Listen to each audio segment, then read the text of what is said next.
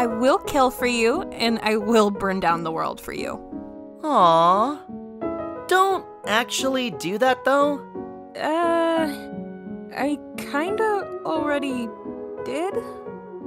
Mari.